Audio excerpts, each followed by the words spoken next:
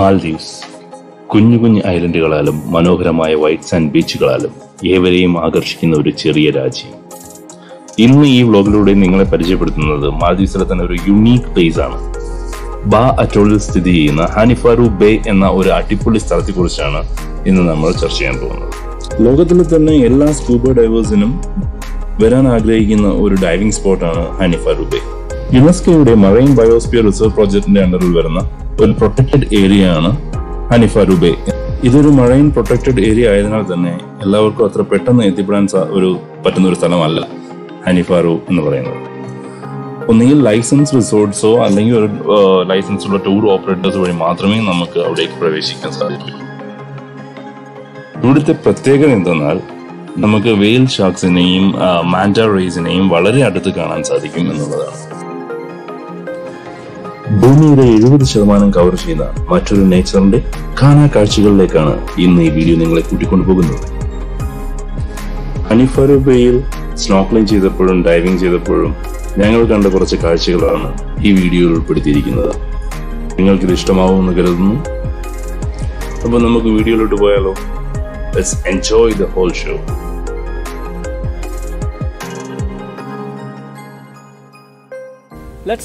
diving പോകുമ്പോഴുള്ള equipment. Diving എക്യുപ്മെന്റ്സിനെ കുറിച്ചാണ് നമ്മുടെ instructor ഇവിടെ പറഞ്ഞു തരുന്നത് filled with pure air. And we have our jacket, which we call PCD. It's buoyancy control device. And your regulator. You have two regulators normally. One is your primary regulator. Second one is your alternative ASOS. And on your left hand side, on your BCD, you have an inflator hose with two control buttons on it. And on your left hand side again, here you have pressure gauge which tells you that how much air you have in your scuba tank.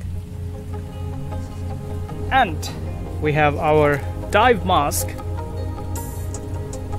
and we have a dive suit and you have your fins. Make sure that you have a right size of fins and a weight belt. A weight belt helps you to keep under the water for the scuba dive. Scuba diving ചെയ്യാൻ പോകുമ്പോൾ നമ്മളെ instructor നമ്മളെ ഒരു ഷാളോ വാട്ടറിലോ അല്ലെങ്കിൽ ഒരു swimming പൂളിലോ ഷാളോ വാട്ടറിലോ കൊണ്ടുപോയി നമ്മളെ ഇതേപോലെ എല്ലാം പറഞ്ഞു തരും ഇങ്ങനെയാണ് മാസ്ക് ഉപയോഗിക്കേണ്ടത് ഇങ്ങനെയാണ് ഇതെല്ലാം ചെയ്യേണ്ടതെന്നൊക്കെ. അപ്പൊ അതാണ് നിങ്ങൾ ഈ വീഡിയോ കാണുന്നത്. ആക്ച്വലി ഇത് ഞാൻ വീഡിയോ വേറൊരു റിസോർട്ടിന്റെ അവരെ ഇൻട്രൊഡക്ഷൻ വീഡിയോ എടുത്തതാണ്.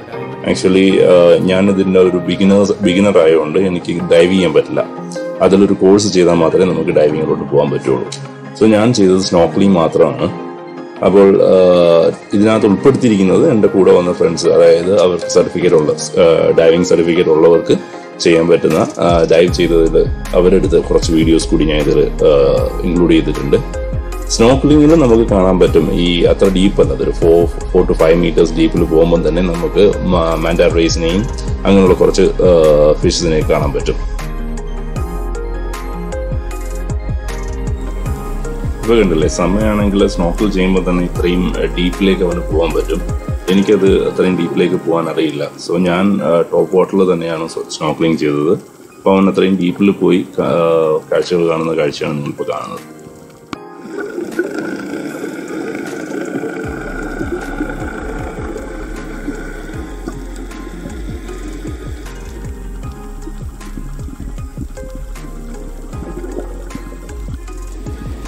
നിങ്ങൾ ഈ കാണുന്നതാണ് മാന്റാർ റൈസ് എന്ന് പറയുന്നത്. നമ്മുടെ നാട്ടിലെ തിരണ്ടിയൊക്കെ തിരണ്ടിയുടെ വേറൊരു വേർഷനാണിത് ഒരു ഇതിന്റെ ലൈഫ് സ്പാൻ എന്ന് പറയുന്നത് തന്നെ ഒരു നാൽപ്പത് വർഷം വരെ ഇത് ജീവിക്കും. ആക്ച്വലി ഇവിടുത്തെ ഈ ഹനിപ്പറുകയുടെ ഒരു പ്രത്യേകത എന്ന് പറഞ്ഞാൽ തന്നെ ഈ മാൻഡ റൈസിന്റെ ഒരു കൂട്ടം തന്നെ നിങ്ങൾക്ക് കാണാൻ പറ്റും. സംടൈംസ് നൂറിൽ പരം മാൻഡ റൈസിനെ നമുക്ക് കാണാൻ പറ്റും. ഇത് വലുപ്പത്തിൽ തന്നെ ഒരു അഞ്ചടി മുതൽ ഏഴടി വരെ വെക്കുമെന്നാണ് പറയുന്നത്. ഇതിൽ തന്നെ കുറച്ച് വെറൈറ്റീസ് ഉണ്ട്. ഈ മൈൻഡ് റൈസിൽ തന്നെ രണ്ട് മൂന്ന് വെറൈറ്റീസ് ഉണ്ട്. അപ്പൊ അതിന്റെ ഇതിന്റെ സൈസ് എന്ന് പറയുന്നത് അഞ്ചര മീറ്റർ വിടുത്ത് മുതൽ ഏഴ് മീറ്റർ വിടുത്ത് വരെ ഉണ്ടാവും. അത് നീന്തി തുടിച്ച് പോകുന്നത് കാണാൻ എന്ത് നല്ല രസമാണ് അല്ലേ? നമ്മുടെ നാട്ടിലെ വവ്വാലുകൾ വലിയ കടവ്വാലുകളൊക്കെ പറക്കുന്നത് പോലെ. ഇത്രയും വലുപ്പമുള്ള ഒരു ഫിഷ് നമ്മുടെ അടുത്തേക്ക് വരുമ്പോൾ നമുക്ക് കുറച്ചൊക്കെ പേടിയാവും. പക്ഷേ ഇവരത്ര ഉപദ്രവകാരികളല്ല കേട്ടോ. സ്റ്റിംഗ് റൈസ് ഒക്കെ ആണെങ്കിൽ അതിന്റെ വാൽ കൊണ്ട് ഉപദ്രവിക്കുമെന്ന് ഞാൻ കേട്ടിട്ടുണ്ട്. പക്ഷേ മാൻഡ റൈസ് അങ്ങനെ ഉപദ്രവകാരികളല്ല. നമുക്ക് അടുത്ത് പോകാം അതിന്റെ ശരീരത്തിൽ ചെറുതായിട്ട് തൊടാം. പക്ഷെ അങ്ങനെയൊന്നും അവരെ ഡിസ്റ്റർബ് ചെയ്യരുത് എന്നാണ് നമ്മൾ ഇൻസ്ട്രക്ടേഴ്സ് പറയുക. ഞങ്ങൾ കണ്ടതിൽ ചില മാൻഡറീസ് ഒക്കെ ഒരു മനുഷ്യനോളം വലുപ്പമുള്ളതായിരുന്നു അതായത് നീളത്തിൽ. വീതി എന്ന് പറയുന്നതും അതേപോലെ തന്നെ ഒരു മനുഷ്യനോളം വലിപ്പമുള്ളതാണ്. സമയം അത്ര നല്ല എക്സ്പീരിയൻസ്ഡ് ആയിട്ടുള്ള ഒരു ഡൈവർ ആയതുകൊണ്ട് തന്നെ അവൻ അതിന്റെ ഇടയ്ക്കൂടെയൊക്കെ സ്വിം ചെയ്ത് മാക്സിമം എൻജോയ് ചെയ്യുന്നുണ്ടായിരുന്നു. ഇതിന്റെ ആ, ശരീരത്തൊക്കെ തൊടുമ്പോൾ തന്നെ നമുക്ക് എന്തോ ഒരു ഫീലിംഗ് ആണെന്ന് പറയുന്നത്. കാരണം ആ വെള്ളത്തിനടിയിൽ വെച്ചിട്ട് അതിന്റെ ഷൈനിങ്ങും അതിന്റെ ഒരു മിനുസമുള്ള ശരീരത്തിലൊക്കെ തൊടുമ്പോൾ പക്ഷെ എനിക്കതിനുള്ള എക്സ്പീരിയൻസ് പറ്റിയില്ല. കാരണം ഞാൻ ടോപ്പ് വാട്ടറിലായിരുന്നു സ്നോക്ലിംഗ് ചെയ്തത്. നമ്മൾ സ്നോക്കിൾ ചെയ്യുമ്പം ഇത് നമ്മുടെ അടുത്ത് തന്നെ നിൽക്കാൻ വേണ്ടിയിട്ട് നമ്മളെ കൊണ്ടുപോകുന്ന ടൂർ ഓപ്പറേറ്റേഴ്സ് അല്ലെങ്കിൽ ഇൻസ്ട്രക്ടേഴ്സ് എന്താ ചെയ്യുകയെന്ന് വെച്ചാൽ അത് ഇവിടെ തന്നെ നിൽക്കാൻ വേണ്ടി അവർ കുറേ ഫീഡ് ഇട്ട് കൊടുക്കും. ചെറിയ ചെറിയ മീൻ കഷ്ണങ്ങൾ അല്ലെങ്കിൽ ചെറിയ ചെറിയ മീനുകളെല്ലാം ഇട്ട് കൊടുക്കും. അപ്പോൾ അത് ഇവർക്ക് കഴിക്കാനായിട്ട് നമ്മൾ അടുത്തോട്ട് വരും. അപ്പോൾ അത്രയും നമുക്ക് അടുത്ത് കാണാനുള്ള എക്സ്പീരിയൻസ് ഒന്നും കൂടി കൂടുകയാണ് ചെയ്യുന്നത്.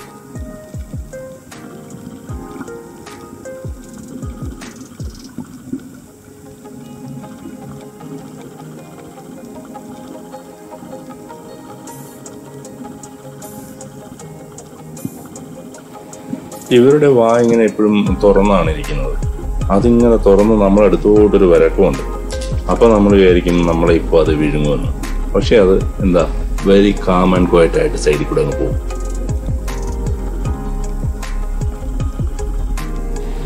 ഞാൻ പണ്ട് എന്റെ സ്കൂൾ കാലഘട്ടങ്ങളിലൊക്കെ സന്ധ്യയാകുമ്പോൾ ഇങ്ങനെ കൂട്ടത്തോടെ ഒവ്വാലുകൾ പറന്നു വരുന്നത് ഞാൻ കണ്ടു. എനിക്ക് അതേ ഒരു ഫീലാണ് എനിക്ക് കാണാൻ കഴിഞ്ഞത്. പക്ഷേ വവ്വാലിനേക്കാളും ഒരു പത്ത് മടങ്ങ് അധികം സൈസ് ഉണ്ടെന്ന് മാത്രം വ്യത്യാസം ഉണ്ടായിരുന്നു.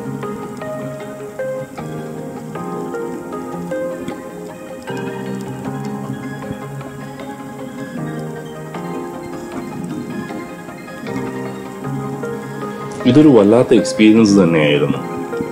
എന്താ പറയുന്നത്? നമ്മളെക്കാളും സൈസുള്ള കുറേ ജീവികൾ നമ്മളടുത്തുകൂടി ഇങ്ങനെ പോയിട്ട് ഒന്നും ചെയ്യാതെ പാവത്താനെ പോലും ഇങ്ങനെ പോകുന്നു. പക്ഷേ മനുഷ്യരെ കാര്യം ഒന്ന് ആലോചിച്ച് നോക്ക്. മനുഷ്യർ എന്തോരം അഹങ്കാരമാണ് കാണിക്കുന്നത്. അവനൊക്കെ ഇത്രയും സൈസും കാര്യങ്ങളും ഉണ്ടായിരുന്നെങ്കിൽ എന്തൊക്കെ കാണിച്ചു കൂട്ടിയനെ? പക്ഷെ ഇത് നമ്മൾ എക്സ്പീരിയൻസ് ചെയ്യേണ്ടതും ഈ കടലിനടിയുള്ള കാഴ്ചകൾ അതൊരു ഒരു വല്ലാത്തൊരു എക്സ്പീരിയൻസ് തന്നെയാണ്. ഇത്രയും മാത്രമാണ് എനിക്ക് കാണാൻ പറ്റിയത്. കാരണം ഞാൻ ടോപ്പ് വാട്ടറിൽ മാത്രം സ്നോക്കിൾ ചെയ്ത്.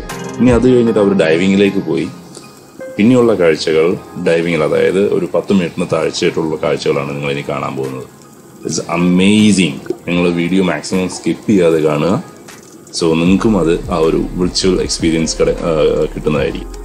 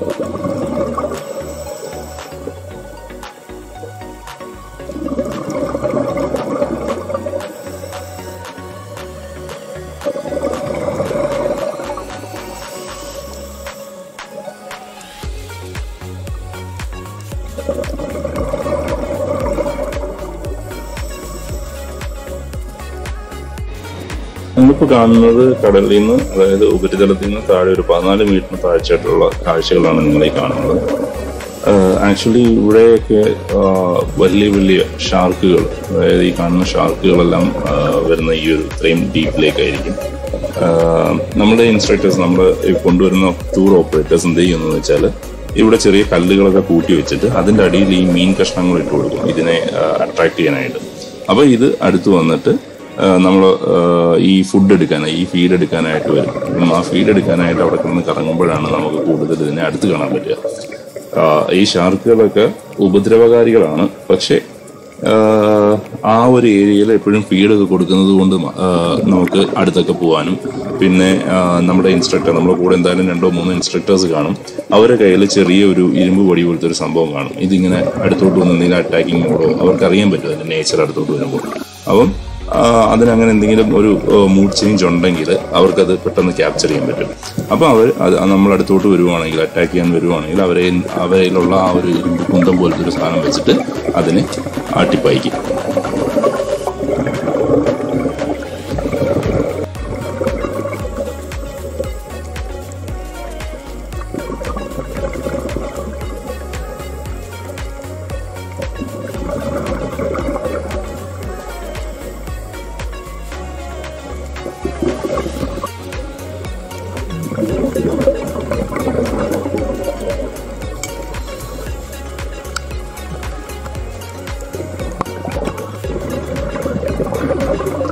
ഇപ്പം നിങ്ങൾ കാണുന്നത് ഒരു പ്രഗ്നന്റ് ഷാർക്കാണ് എന്റെ വയറ് കാണുമ്പോൾ അറിയാം പിന്നെ അവർ അത് ആ ഷാർക്ക് ഇപ്പം നമ്മൾ അവിടെ വെച്ചിരിക്കുന്ന ഇവർ ഓപ്പറേറ്റേഴ്സ് വെച്ചിരിക്കുന്ന ഫീഡ് എടുക്കാനാണ് ഇപ്പോൾ വന്നത്. അപ്പോൾ ആ കല്ലിന്റെ ഇടയിൽ അവർ കുറച്ച് മീൻ കഷ്ണങ്ങൾ വെച്ചിട്ടുണ്ട്. അപ്പോൾ അതെടുക്കാനായിട്ടാണ് അത് വരുന്നത്.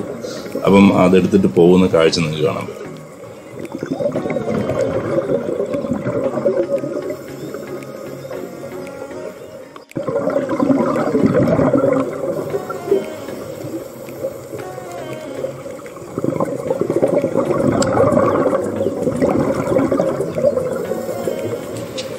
ഒരു ഏരിയയിൽ ഷാർക്ക് മാത്രമല്ല കാണാൻ കഴിയില്ല.